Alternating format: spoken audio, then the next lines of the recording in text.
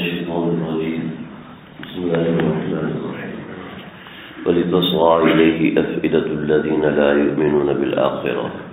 وليرضوه وليقترفوا ما هم مقترفون سورہ انعام کی آیت نمبر ایک سو تیرہ ہے. اللہ رب العزت ارشاد فرما رہے ہیں. ولیتسقا الیہ افئدۃ الذین لا یؤمنون بالآخرہ ولیتسقا الیہ تاکہ پسند آئیں۔ وہ یہ والی باتیں، یہ والی چیزیں۔ افعدت الدین لا یؤمنون بالآخرہ۔ ان لوگوں کے دلوں کو جو لوگ آخرت پر ایمان نہیں لاتے۔ ولی ابو تاکہ وہ راضی ہو جائیں۔ ولی اخترف اور وہ کرتے رہیں۔ ماہ مختلف جو وہ کر رہے ہیں۔ جو وہ غلط کام کر رہے ہیں، وہ لوگ کرتے رہیں۔ آیت نمبر ایک سو تیرہ کا خلاصہ ہوا آیت نمبر بارہ اور آیت آیت نمبر ایک سو تیرہ۔ ایک سو بارہ اور ایک سو تیرہ۔ ان دونوں کے اندر جو مضمون ہے، وہ میلا ہوا ہے کہ اللہ نے ہر نبی کے لیے دشمن بنایا اور وہ دشمن انسان اور جنات کے اندر ہوتے ہیں۔ اور انسانوں میں بھی ہوتے ہیں اور جنات میں بھی ہوتے ہیں۔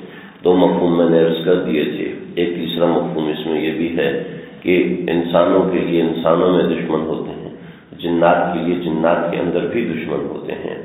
جیسے کہ میں نے بالکل ابتدا میں عرض کیا تھا کہ انسانوں سے پہلے زمین پر جنات آباد تھے اور پھر ان کے اوپر وہ کافی عرصہ صحیح رہے۔ پھر اس کے بعد اللہ نے ان کے اوپر آٹھ سو انبیاء بھیجے جنہوں نے ان کو تبلیغ و دعوت دیا۔ اور اس کے بعد جب وہ بالکل ہی راستے سے ہٹے تو اللہ نے فرشتوں کی فوج کے ساتھ ان کو نست و نابود کر دیا۔ تو ان کے اندر بھی آج بھی جنات کا جو وجود ہے، تو وہ جنات کے اندر بھی ان کو، ان کے اپنے مخالفین ہوتے ہیں۔ صرف انسانوں میں مخالفت نہیں ہوتی، بلکہ جنات میں بھی مخالفت ہے۔ یہ ایک تیسرا مفہوم ہے۔ یوں ہی باغ ملا باغ ظفر القول غرورا۔ یہاں پر جو ساری باتیں تھیں وہ ہو گئیں۔ اس کے ساتھ سمجھ لیں کہ یہ یہ ایسی باتیں کرتے ہیں جو دلوں کو کھاتی ہیں۔ شیطان شیطان ہر ایک کے لیے جال بناتا ہے۔ کسی بزرگ نے خواب میں شیطان کو دیکھا، وہ پھندے لے کے جا رہا تھا۔ کبھی یہ کیا لے کے جا رہے ہو؟ کہ یہ پھندے ہیں، تدابیر کے پھندے ہیں۔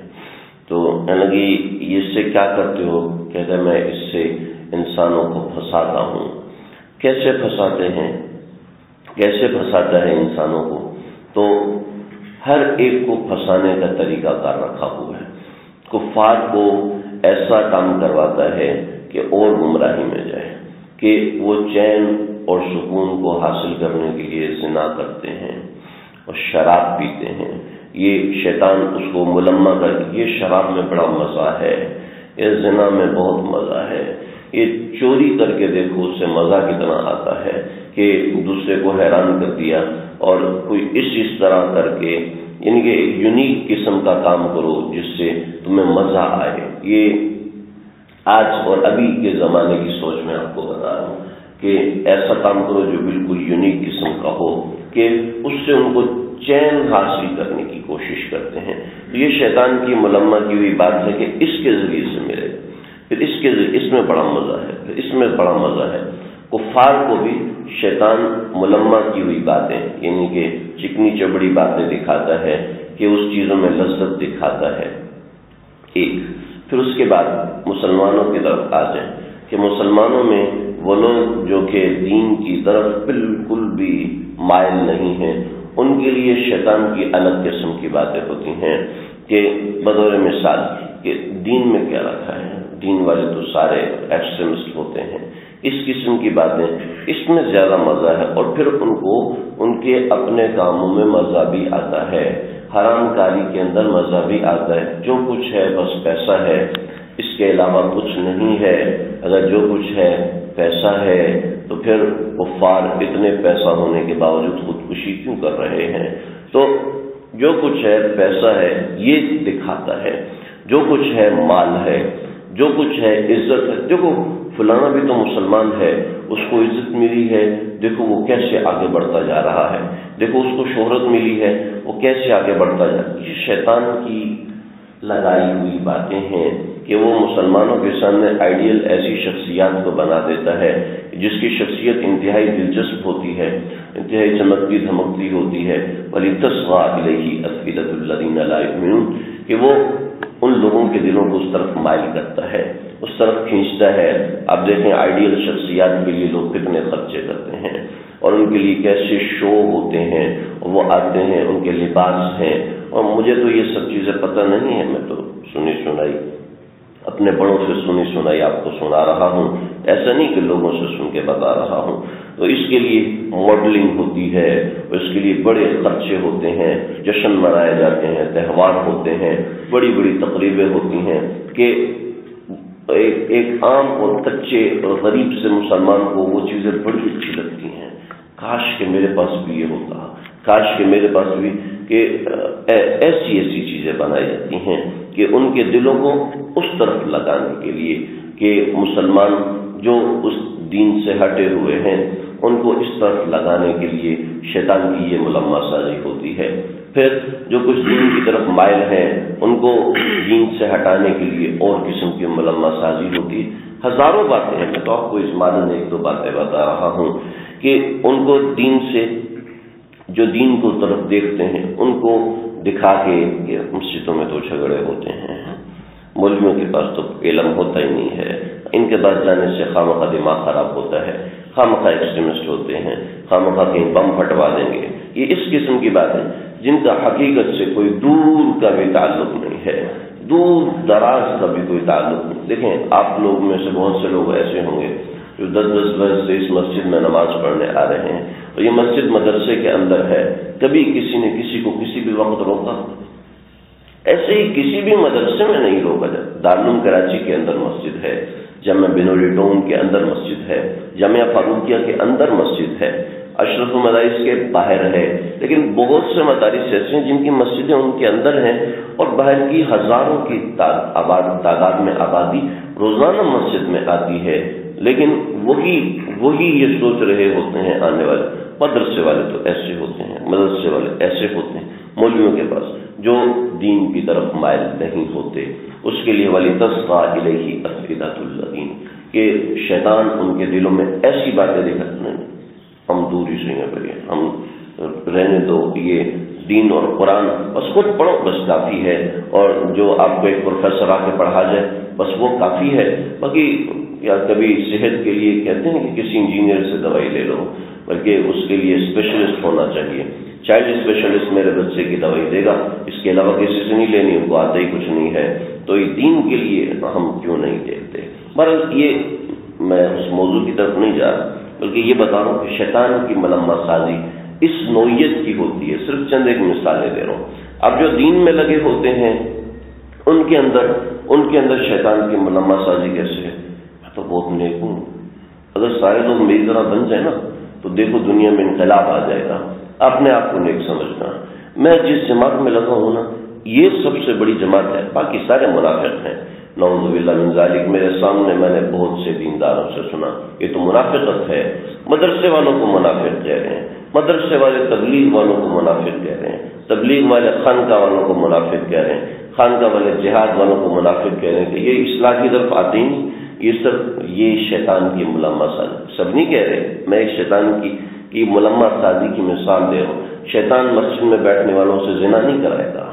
شیطان مسجد میں بیٹھنے والوں سے غیبت کروائے گا۔ اشد دو منت غیبت کروائے گا۔ ہمارے جو کلاس کے امیر صاحب ہیں نا، ان کو تو آتا ہی کچھ نہیں۔ استاد جی نے پتہ نہیں کیوں ان کو مدرسے والے ہیں اور جماعت والے ہیں۔ یہ شیطان کی ملما سازی ہے۔ دیکھو، ہم تو نکلے ہوئے ہیں۔ خاندان میں چلے لگا رہے ہیں اور ان کو دیکھو مدرسے میں بیٹھ کے پڑھا رہے ہیں۔ اپنے اوپر نظر ہو۔ یہ سب شیطان کی ملما سازی ہے کہ دوسرے کو دیکھ رہے ہیں، دوسرے کے عیبوں کو دیکھ رہے ہیں اور خود عیبوں سے بھرے ہوئے ہیں۔ میرے حضرت فیروز عبداللہ میں صاحب کا فرماتے ہیں، دیکھو، ہمیں کسی کے دس ایپ پتا ہوں گے، بیس ایپ پتا ہوں گے، تیس ایپ پتا ہوں گے، لیکن اپنے تو ہزاروں ایپ مجھے معلوم ہے نا۔ اپنے ہزاروں ایپ مجھے معلوم ہے جس پر گواہ کی ضرورت نہیں ہے، اس کے ایپوں پر گواہوں کی ضرورت ہے۔ تو یہ شیطان کی لگائی ہوئی ہوتی ہے کہ فلاں کو دیکھو، فلاں کو دیکھو، فلاں اپنے آپ جو دین میں لگے ہوئے ہیں، شیطان ان کو اس طریقے سے ملما سازی کرتا ہے۔ شیطان ان کو اس طریقے سے دین میں دور کرتا ہے۔ پھر یہ عوام لوگ ہیں۔ پھر خواص کو اور طریقے سے کرتا ہے کہ خواص کے لیے کہ اس جگہ پر فلاں کا بیان نہیں ہونا چاہیے تھا، فلاں کا بیان ہونا چاہیے تھا۔ اس جگہ پر فلاں کی گشت نہیں ہونی چاہیے تھی، میری گشت ہونی چاہیے تھی۔ اس موقع پر فلاں عالم دین بیان کرنے آتے تو زیادہ فائدہ ہوتا۔ نہیں نہیں، یہ غلط ہے۔ انتہائی غلط ہے۔ اگر یہ یہ مسئلہ ہوتا، تب ٹھیک تھا۔ اس کا اشتہار لگتا، اس کے اشتہار میں ایسا نام ہوتا۔ جو خواص ہیں، ان کو ایسے پھیرتا ہے۔ شیطان کسی کو نہیں چھوڑتا۔ یہ بڑی تصغا الہی عقیدہ وہ ایسی باتیں کرتا ہے جو دل کو اچھی لگتی ہیں۔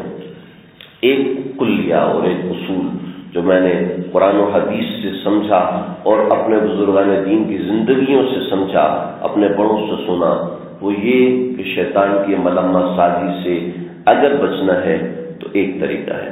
وہ یہ ہے، جو بھی معاملہ ہے، چاہے دنیا دار ہے، چاہے دیندار ہے، چاہے کیسا بھی آدمی ہے، جو بھی معاملہ ہے یہ میں اللہ کی رضا کے لیے بول رہا ہوں یا کسی کو سنانے کے لیے کھری کھری بتانے کے لیے بول رہا ہوں۔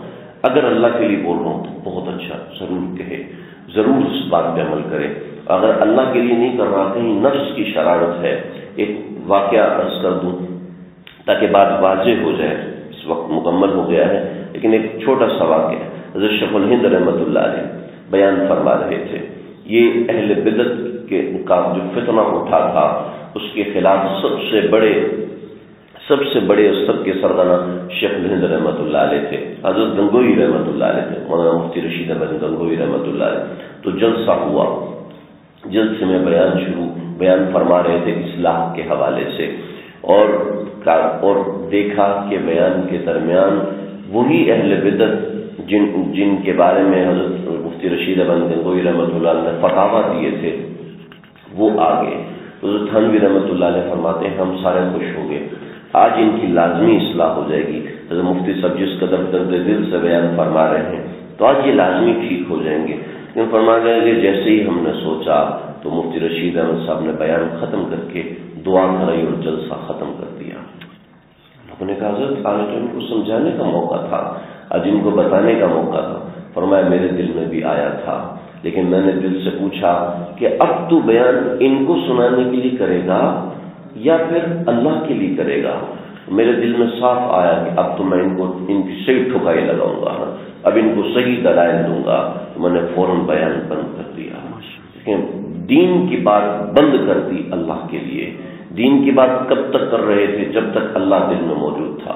تو جو بھی معاملہ ہے، اگر میرا اور ہمارا بولنے کا، کام کرنے کا، جانے کا، آنے کا، بیٹھنے کا، کھڑا ہونے کا۔ اگر دین میں مقصد یہ ہے کہ اس سے اللہ کی رضا مطلوب ہے، تب تک وہ کام ٹھیک ہے۔ اگر کسی دوسری ڈائریکشن پہ گیا تو وہ یہ ہے ولی تصفا علیہ عقیدت الدین علیہ ولی تاکہ وہ اس سے خوش ہو جائیں۔ ولی اخترف اور وہ کرتے رہیں جو وہ لوگ کر رہے ہیں۔ تو یہ تو خالص کفار کے لیے ہے، لیکن اس کے اندر شیطان کی ملمہ سازی ہے، اس کے اندر ہر ہر طبقے کا ذکر آتا ہے۔ میں نے موٹے موٹے چند چیزوں کا ذکر کیا ہے تاکہ اس کو خود ہی سمجھا جا سکتا ہے۔ اللہ تعالیٰ